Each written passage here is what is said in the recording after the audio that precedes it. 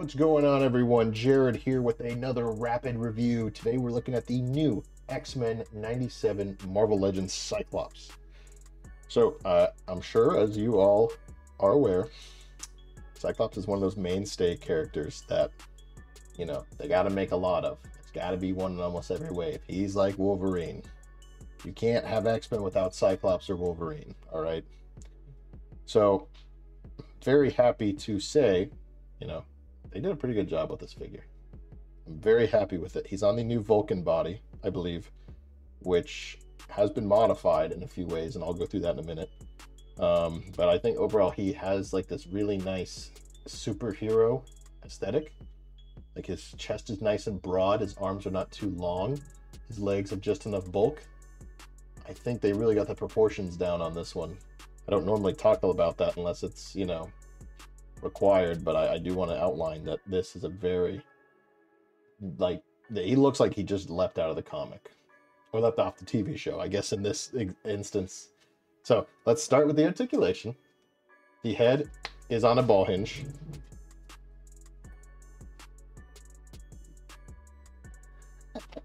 the head is on a ball hinge, which is gonna, you know, do ball hinge things.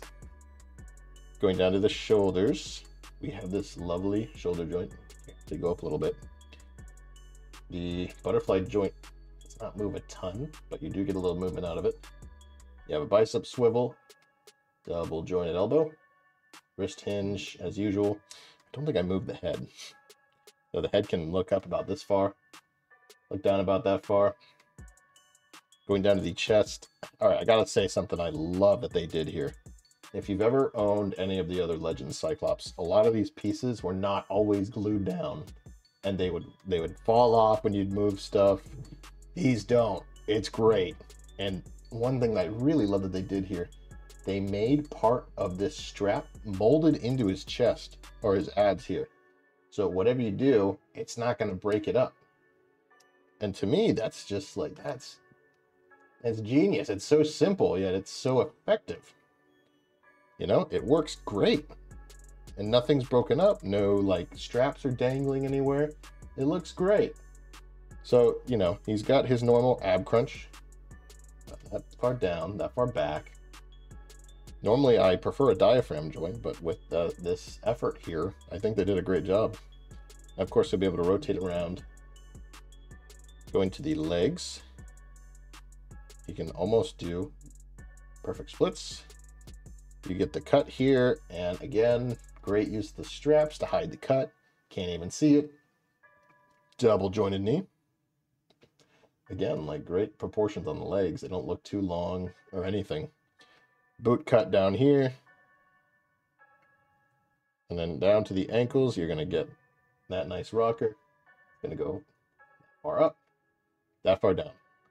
So let's move on to the accessories. First of all, let's talk about the head he comes with.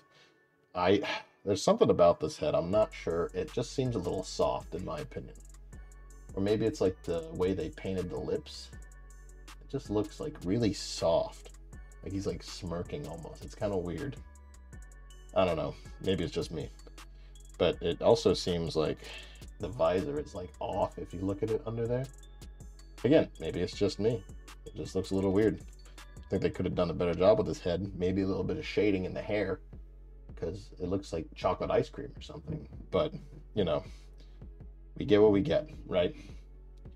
But we get an alternate head, which has him gritting his teeth and shooting out a lovely optic blast. Now, I know what you're going to say. Yeah, he should just came with uh, something detachable so you can use this without the blast. I agree. But, you know, the, this blast is really nice. It came out really good. And of course, you can pop that on pretty easily. One of his alternate hands is his, you know, the tapping of the trigger on there. Looks good. That looks really good. He comes with, speaking of alternate hands, he comes with two, like, uh, splayed out hands. And then he comes with two fist hands and then you get, you know, as we talked about, the fingering hand. Yeah, he's going to make someone very happy with that. probably not bad guys. But, you know, let's see. What are we doing here? Well, $25 for this figure. You know, it's not bad. Not bad. He comes with, I, I feel like this is like the baseline, what it should come with. Energy effect, check. Plenty of hands, check. Alternate head, check. I think that should come with every single figure at this $25 price point. And in Cyclops' case, it does. Could things have been done better here? Sure. But there's some new engineering here that I love. And overall, I'm, this this to me is like the perfect Legend Cyclops. I feel like this guy you could stack up against like Mafex or Mezco, and he'd probably rank pretty high. You know, so overall, I'm going to give this Cyclops a nine out of ten. I think they did a great job here, and you know I can't wait to review more figures from this X Men '97 line because Hasbro's actually seeming to do a better job now. So there you guys have it. We will see you in the next video. Thank you again for watching. We'll catch you later.